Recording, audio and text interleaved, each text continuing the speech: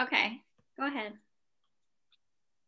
Okay, so this is verse 35 in chapter 2 of Hatha Yoga Pradipika. Ta-da! Perform exhalation and inhalation rapidly, like the bellows of a blacksmith. This is called Kapalabhati and it destroys all mucus disorders. The last of the six Shatkarma is Kapalabhati. In Gheranda Samhita, it is known as Halabati. uh, Hala, Halabhati. Bala and Kapal mean the cranium or forehead. Bhati is light or splendor, but it also means perception and knowledge. Kapalabhati is a pranayama technique which invigorates the entire brain and awakens the dormant centers which are responsible for subtle perception. In English, it is called the frontal brain cleansing technique. It is a similar practice to Bhastrika pranayama, except that exhalation is emphasized and inhalation is the result of forcing the air out. In normal breathing, inhalation is active and exhalation is passive. This practice reverses that process so that exhalation becomes active and inhalation passive. As described in the sloka, the breathing should be done like the pumping action of a pair of blacksmith's bellows. When the bellows are closed, the air is pushed out, and when they are open, the air is sucked in due to the vacuum effect that is created. Similarly, when you inhale in Kapalabhati, it should be the reaction to the forced exhalation. In Bhastrika, inhalation and exhalation are equal, but in Kapalabhati, it is not so. According to the Gheranda Samhita, there are three forms of Kapalabhati, Vadakrama, Vyutkrama, and Shitkrama. Hatha Yoga Pradipika describes only Vadakrama. Vada means wind or air. Okay, um, I think I'm going to skip reading the directions. Or maybe Pam, should I read the directions? Um, that's up to you. I read them yesterday for Nauli breathing. I okay, so a little different because with um the the asanas, especially the ones she was describing, I think um they were hard for us to visualize, but maybe for the breathing, they're not as challenging. Okay, so I will read them. Technique one, Vadakrama Kapalabhati, air cleansing. Sit in a comfortable meditative pose, preferably Siddhasana, Siddha Yonasana, and prepare yourself as for meditation. Close the eyes and relax, keeping the spine erect. Place the hands in either jnana or chin mudra. Practice kaya mm, siddharyam, that is, steadiness of body. Inhale deeply and perform 50 fast respirations through both nostrils, placing more emphasis on exhalation. Inhalation should be short. After the last exhalation, inhale deeply through the nose and exhale quickly through the mouth, slightly pursing the lips. With Kumbhaka, perform Jalandhara Bandha, Mula Bandha, and Uddiyana Bandha in this order, but almost simultaneously. Wow. Maintain. You want, to, you want me to pause there?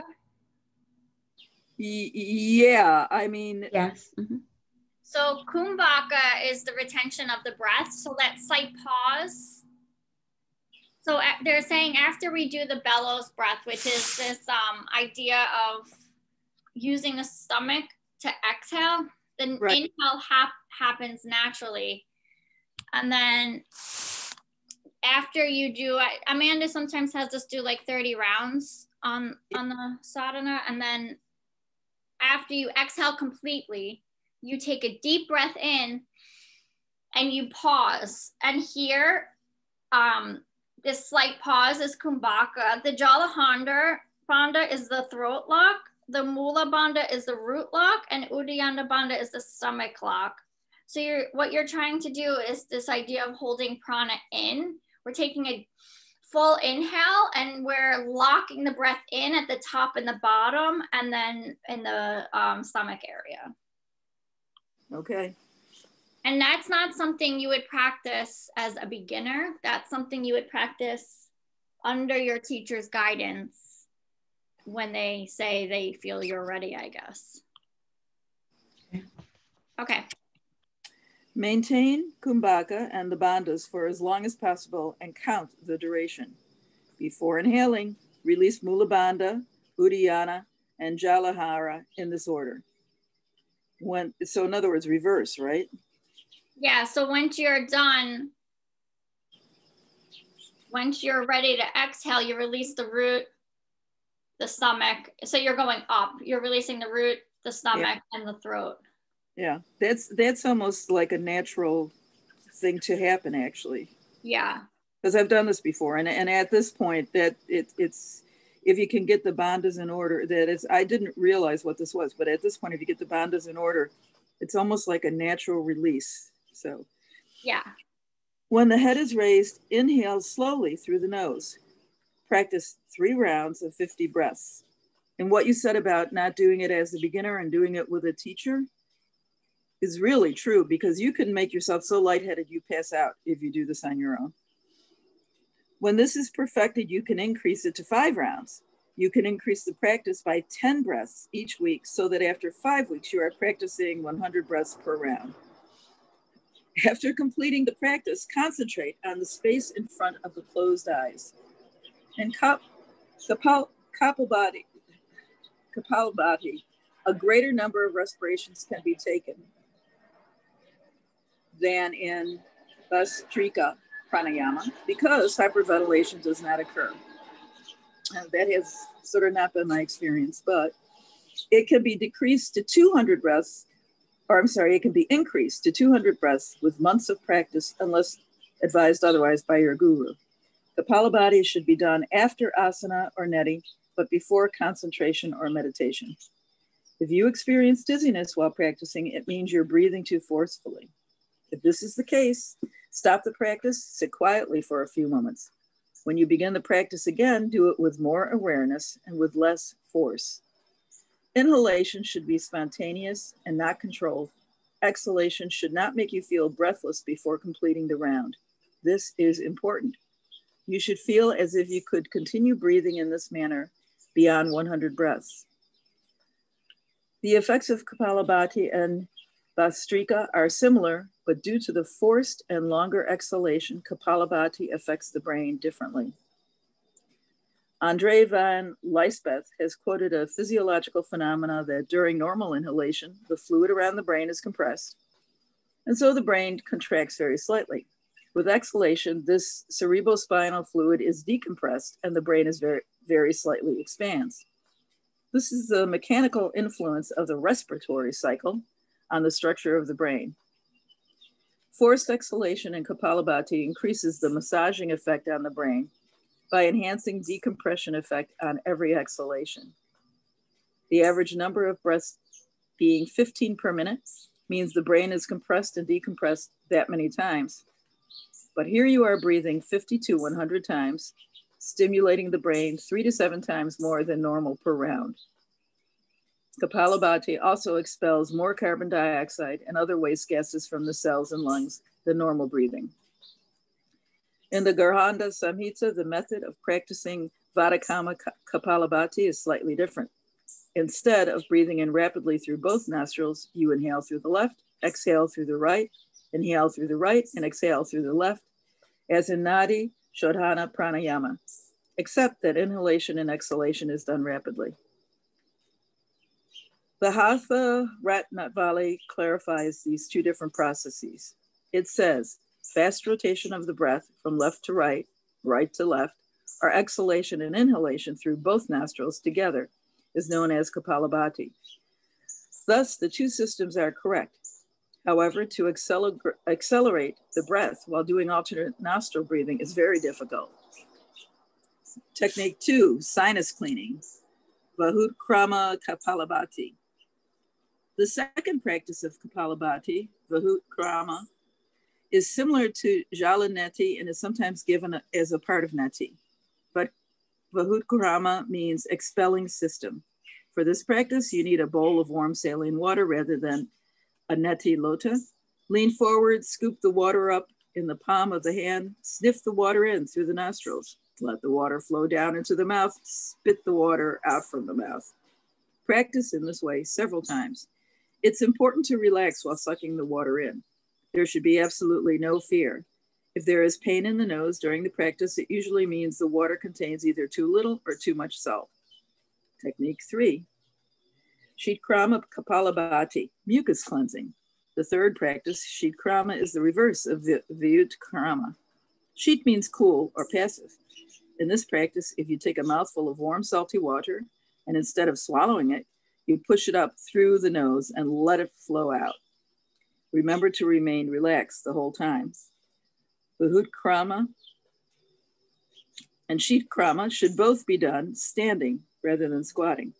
Afterwards, make sure all the water is removed from the nose in the same way prescribed for jalaneti, or practice vada krama kapalabhati. The Gheranda Samhita says that not only do these practices rid the sinuses of old mucus, but they make one attractive and prevent the aging process from occurring. Kapalabhati helps relax facial, mus- facial muscles and nerves. It rejuvenates tired cells and nerves, keeping the face young, shining, and wrinkle free. The effects of Bahut Krama and Sheet Krama are the same as Jalaneti. Spiritually, they help awaken Ajna chakra. So Jalaneti, she spoke about and what we spoke about last week. Um, and the Ajna chakra is the third eye chakra. Right. Okay, should I move on? Yeah. Okay, so verse 36, also chapter 2. By the six karmas, shat karma, one is freed from excesses of the doshas. Then pranayama is practiced and success is achieved without strain. If the body is clogged with old mucus, bile, and wind, the energy gained through pranayama practice will be utilized for rectifying your disorders. In fact, if you have any mucus blockages, it may create an acute problem that you cannot practice pranayama. First, you have to rid yourself of excess mucus and bile and eliminate the toxins from your systems. Proper assimilation and excretion have to be established. Pranayama is more effective in a healthy body. The body has three faults kapha, mucus, pitta, pitta, acid, and vata, wind. An imbalance in these causes disease. In the same way, the mind has three faults. The first is mala, impurity. The second is vikshepa, distraction. And the third is avarna, ignorance. Impurity is the psychological stuff which manifests when you sit for meditation. There are five types kama, sensual desire, krodha, anger, moha, infatuation, mada, arrogance or pride, matsarya, envy. When visions float across your mind and the mind cannot be made steady because it keeps oscillating, that is vikshepa. When the mind is unable to understand itself, it is called ignorance or, avarna. Through the practice of Shat Karma, the centers in the physical body, which are responsible for arousing these doshas in the mind, are stabilized. Shat Karma works on the physical body to influence the mind, brain waves, and blockages of energy.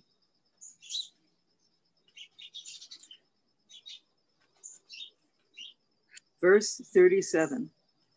According to some teachers, pranayama alone removes impurities, and therefore they hold pranayama in esteem and not the other techniques.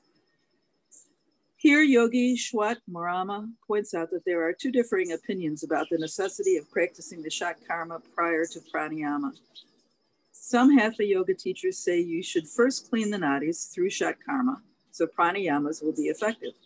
Others believe pranayama alone will remove the blockages in the nadis and balance all elements of the body. Both opinions are correct, but which to follow? Shat Karma provides a quick method of rebalancing mucus, bile, and wind. If you cleanse the body through Shat Karma first, pranayama will maintain its state of cleanliness. If you have excess mucus, bile, or wind and practice pranayama only, The energy you generate through pranayama will all be spent in rectifying your state of imbalance. However, if your body is healthy, nadis clean, and the whole system is functioning in harmony, then pranayama can be practiced without any need for shat karma. If there is a slight imbalance, pranayama alone will be sufficient to rectify any problem. Excess mucus is the major obstacle which prevents pranayama practice. When the nose or respiratory tract is completely blocked, pranayama is impossible. So you will definitely have to resort to neti, kunjal, or even laghu shanka prakshalana. For nasal, for nasal, nasal, I'm sorry, for nasal congestion, neti and kunjal are sufficient. But for respiratory congestion, asthma, bronchitis, or eosinophilia, the three karmas will be necessary. Although the shat karma are very powerful and effective purifier and harmonizers, pranayama will have to be practiced afterwards to maintain the balance they have created. Otherwise, impurities will reaccumulate and the body will fall back into its old patterns. So I, I want to stop because I, I it, it, it dawns on me again in reading this for myself as a student, and maybe for a, a lot of students. It makes it clearer than ever why you need um, a, a knowledgeable, experienced teacher to proceed along this. Um, and the teacher has to know who you are and has to know a fair amount about about you and about your body. In order to determine um, which route to follow or, or which it seems to me there could be a hybrid as well and, and whether or not that would be useful. So i don't know pam you you have a lot more experience with these approaches than i do. I don't know if that's uh, your take on it I 100% agree with you on the first part of that sentence as far as yes the teacher needs to build relationships with the students. And um, as far as having more experience i don't think i have more experience. And so i i studied my yoga teacher training in 2017 and it's a 200 hour program and amanda's program is phenomenal. But it's also I could have just taken that 200 hour and been like, okay, I'm a yoga teacher, and then just kept showing up in the studio. But I feel like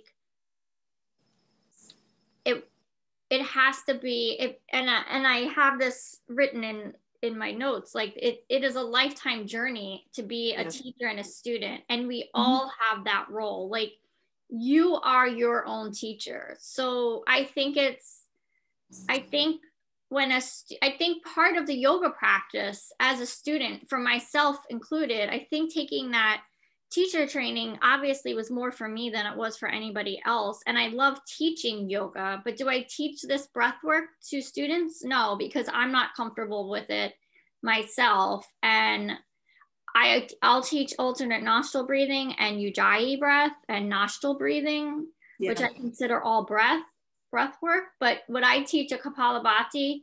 No, because and even like you saw me teach bumblebee breath the other day, Sue, for the first time. Like until I'm 100% comfortable and knowledgeable with it, I would never put a student at risk just to look cool or fake as a yoga teacher. Um, well, yeah, no question. You're really you're you're very uh, cautious about this, and you're very concerned about the integrity of your practice in terms of really knowing what you're doing, you know, the integrity of your teaching, especially. And that's why I keep up with this practice and I, I read books. I but I, you know, like I've told you guys, I went too crazy absorbing information and I slow it down. Like it's okay that we're reading this book slowly and having these discussions. It doesn't have to be read in one week or one month. It, it can be done over a period of time, even if it takes us over a year. You know, like there's no time limit. I'd rather go slow and study and learn. And and then what I'll say to that is if something's not and we spoke about this even in the sutras, Sue, but like if something doesn't make sense and something interests you, that's your cue to dive deeper into it. Ask a teacher, ask Amanda, ask the students, find articles online, find teachers you trust that can guide you into learning more about something.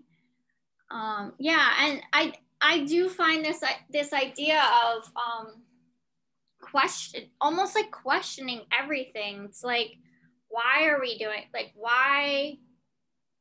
If you show up to a yoga class and you practice with the teacher regularly, I'm not talking like a once in a while pop in or like there's a random sub. But if it's somebody you practice with, be like, why are we? Why do we practice this? You know, and and they might have more information on it just because like we're learning so much as to reasons why these are so beneficial these um, yoga teachers could help um, guide you to books where you can learn more on it this way you can develop your own practice more right yeah that makes sense or even like you were saying Sue like sometimes you feel did you say you feel lightheaded or what did you say you get when well, when I that um, that uh, rapid uh, exhalation and then it results in inhalation. Uh, um, yes, I would feel uh, lightheaded um, after doing it, and I was doing it with an experienced teacher, and I had done a fair amount of, you know, some of the more basic pranayamas that that you were talking about, Pam. I had I had done those, and and, and I'm very comfortable with those. Uh, but that um, that made me uh, Kapalabhati uh, made did make me lightheaded at times. So yeah, so I think it's not a matter like students will come up to me after class sometimes and be like, "Why is this why is this? I'm like or why why is this hurting? I'm like i'm not a medical doctor i don't know. Like this is the first time i've ever seen you this is the first time you're ever practicing with me i don't have the answers for you. But i think noticing that that breath does that for you Sue, then you know like okay i'm not going to practice this. When the teacher says that we're going to do kapalabhati then i know or it, it just allows you to witness what's going on and be present and allows you to figure either figure out why or know that that practice isn't for you. Well the good news was it was just me and a couple of other people and uh, the teacher had said ahead of time and they, you know they were you know experienced yoga practitioners and and she knew that they understood prana, pranayama at least at a basic level so the good news is she prefaced it by saying if you feel lightheaded stop and just breathe in and out you know get your breathing back together, um, and basically gave the same recommendation that, that this author uh, provided, which is don't worry about doing it so forcefully. Think about what you're doing it, uh, uh about what you're doing it. It's just like any uh, a yoga pose. You're not worried about looking pretty. You're worried about are you doing the the pose with the correct form that's suitable uh, for your body. Yes. And the same thing is true for this breathing. Um, so, you know, apparently I was doing it, and I could tell I was doing this way too dramatically. You know, like, you know, this is like uh, a movie with a lot of ships blowing up and cars crashing. You know, and and it's and and the idea is no, you got to think about it, and it's the action of expelling air and then relaxing and letting the air flow back in and I was able to get there just by basically slowing it down and thinking about it and then speeding it up a little bit. No way could I have done 50 rounds though. I think I was, I think we were at like 30 rounds or something like that. I was just going to say though, even knowing where you are, if the teacher says we're doing 30 rounds and you want to do 10 rounds, yeah. you know, that's fine. Hi, Amanda. Amanda just joined. Hey, hi. Hi. Hi, Amanda. You read about Kapalabhati breath today, so we're just discussing it. Yeah, I hear you, Sue. Yeah. The other thing too, and I've said this before too, like as a teacher, I feel like if I don't practice physical asana that week and I go and teach, then I feel like fraud. So like I wouldn't, I don't practice this breath regularly on my own. So it wouldn't be something until I started doing that in my own practice that I would. Yes. Yeah, sure. So um, this the sequence of what happens first. Now, I, what what did she say about the sequence? Um, and I'm I'm not talking about the sequence of Kapalabhati itself, but it's the sequence of um, uh, asana uh, in reference to Kapalabhati. Do you do asana first or do you do Kapalabhati first? I think she said you do asana first and then you do Kapalabhati and then you do um, the meditation or concentration practice. Okay, thank you.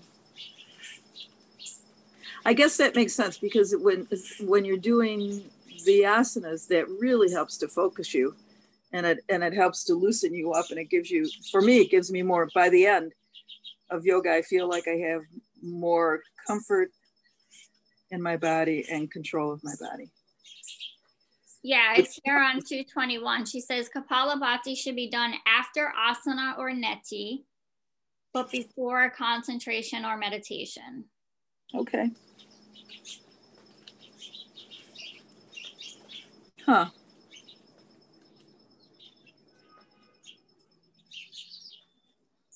She keeps and and and Pam, is it your impression because um, even though I took some notes, I don't have notes about this. Is it your impression that she's, and it's my impression that she's saying, you always begin in asana. You always begin in asana, and then you can move forward to these other steps. Is that, am I remembering this correctly?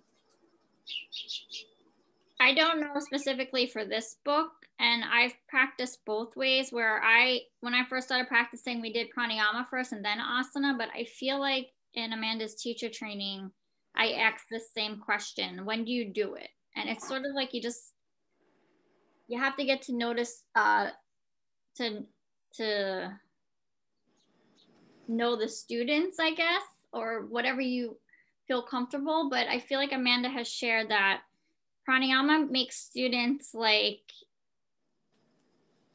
I don't want to say like spacey, but like it like makes you feel like um, not as focused. So she, I think it's like you sort of lose the students after pranayama. So it's like you do the asana first, let them be present and focus on the asana, and then move them into breath work, and then or you can even do breath work. I think I was confused. Do you do breath work like before Savasana or after Savasana?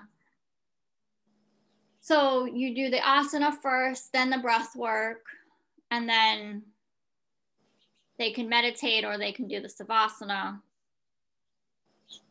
I think for my own practice, I like movement first. It's hard for me to just walk in the doors and want to just sit. And I think that's hard for a lot of other people. Mm-hmm. Like we want to come in and and move. That makes sense to me. Um, and and for me especially because it's easier for me to sit and you know with the, the spine straight and and feeling comfortable in that posture after I do an asana practice. It doesn't have to be hyper long, but it's got to be. I do an asana practice and then then the then the breath work it's very interesting. I was thinking way back to when uh, Kali was leading, Kelly was, our Kelly was leading morning meditation. And she always began, we didn't begin with asana. She began with uh, kirtan, call and response and, and chanting. And if that uh, not breath work, I don't know what is. And, uh, and then we would move into meditation. And Sorry. Today, I guess I'm on the flight path. um, and and so that was basically breath work before meditation too. wouldn't have hurt me. I'll tell you, walking in there and beginning doing this at 7:30 in the morning um, to sit up straight so that you can do, the, you know, the kirtan and then the meditation. I probably would have appreciated a few down dogs and child's poses and so on and so forth, you know, and maybe a twist or two. Yeah.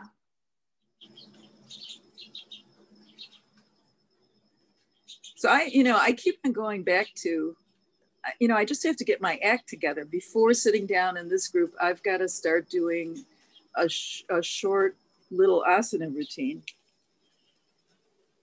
because I, I, think it's it would be very helpful. I and I have to I have to do that. It would just mean kicking out the jams and getting off my tush by 7 a.m. You know, or 7:05. And it would also mean doing yoga, doing asana more frequently, which can only be good. Yeah. All right, I wrote my prescription. Now I have to do it. I I haven't moved since last week. I didn't practice. Um, I didn't take any classes all weekend or yesterday. But I just keep telling myself, well, at least I'm doing this part of yoga, this mental part of yoga. But it has to be a balance. It has to can't just be this. You have to move too. For, well, at least for me. Pam, I couldn't agree with you more. For me, I have the same experience. And while I did a fair amount of physical activity over the weekend. None of it. No, that's not true. I did a yoga practice on Saturday with a group of people. So I did it on Saturday, but you know, it's been two days and I can feel it in my back and in my in my body already. So all right, that's it. I'm gonna start doing at least a few warm-up things prior to coming to this group tomorrow. I am making a commitment. Like Pam, you make those commitments and you hold them. You are my guiding light. Yeah. Yeah, as long as you plank every day.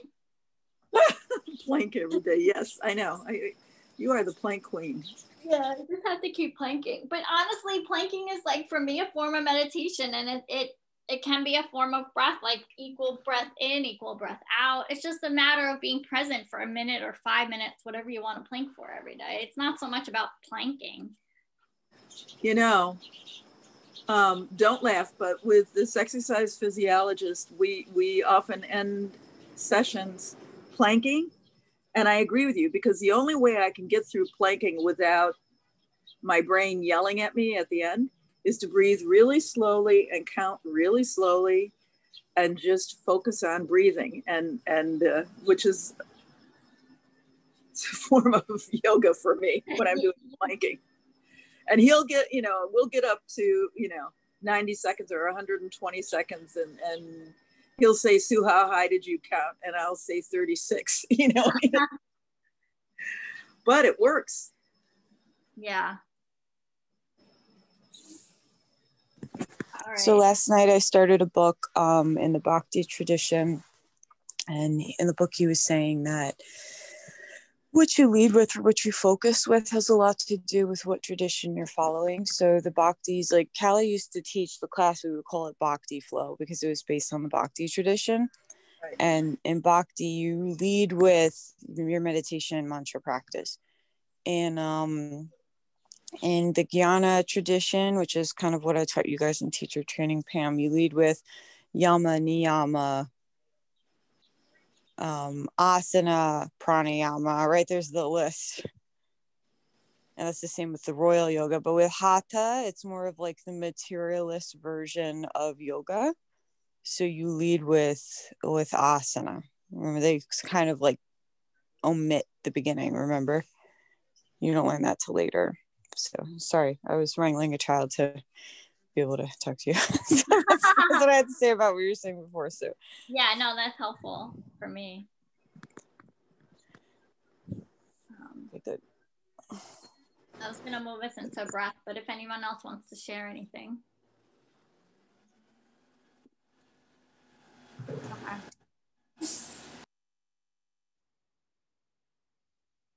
So we'll set up for alternate nostril breathing. I'm not sure if we want to do a few rounds of Kapalabhati breath. I don't know if you're into it right now or if, um, like I said, I don't really teach it because I have to keep practicing. maybe as these months go by.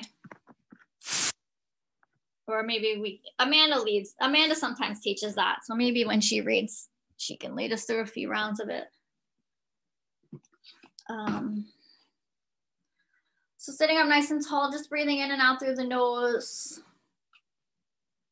Maybe you just play with closing one nostril and then the other just to notice what's going on in both nostrils. And if one feels clogged, hold the opposite one for a little while.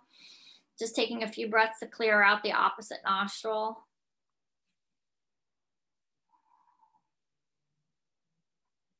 Maybe you're feeling a little congested this morning, you could grab a tissue, clear it out.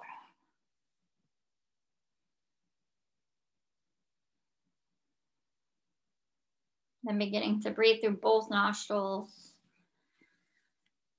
See if you can match the inhale to the exhale. So breathing in for three or four counts and then breathing out for three or four counts.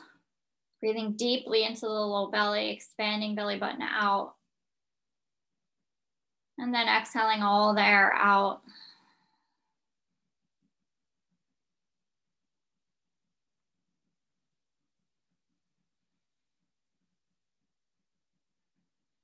And if you're new to this, and you just want to play around with feeling what the locks feel like, the root lock, the belly lock, the throat lock. You don't have to hold the breath for too long, but you can just play with working with the muscles in those areas. They're hard to, hard to explain.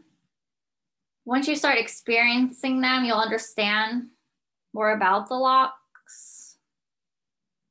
So the root lock, you'll pull up on the pelvic floor. It's almost, it's like the muscle, if you're peeing and you want to stop the flow.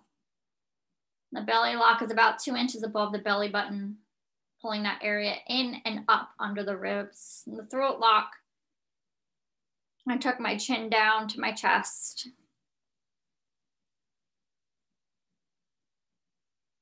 You don't have to lock all three at once. You can just play with engaging one or the other.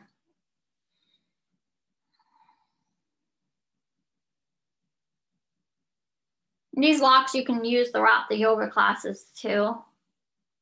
Can play with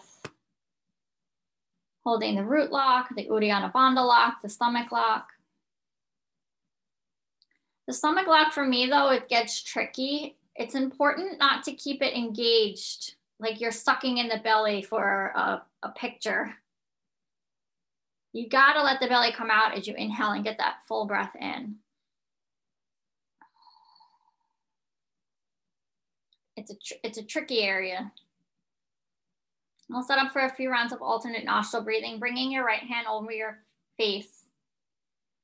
Closing right nostril with right thumb. Inhale through your left. Close left with left, right break finger. Exhale through right. Inhale right. Close right, exhale left. That was one full round. Inhaling left.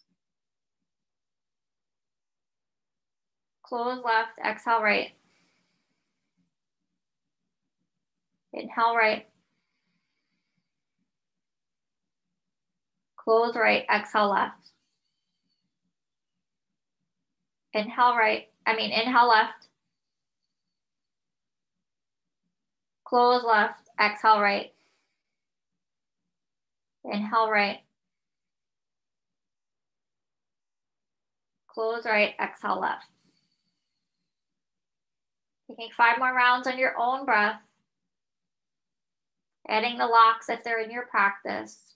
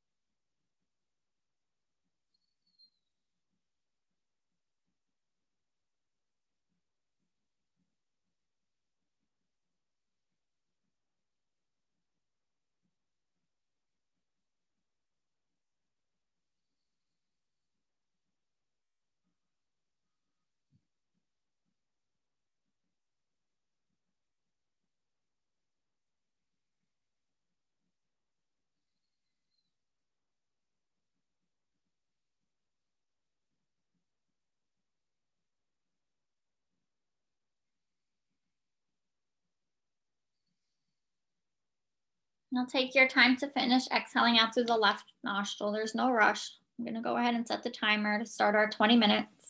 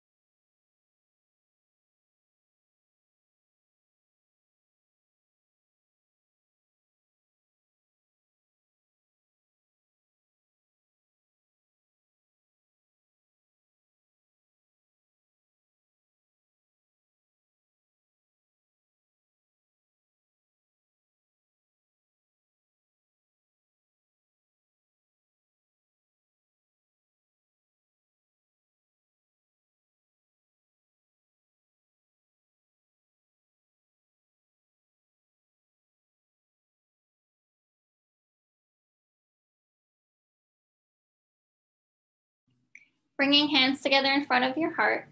Namaste. Namaste. Thank you so much, Nikki. And thank you, Sue, for reading today. Thank you both. Mhm. See you both tomorrow. Yep. See Have you a great tomorrow. day, guys. Thank you. Bye. Have a good day, guys. Bye bye.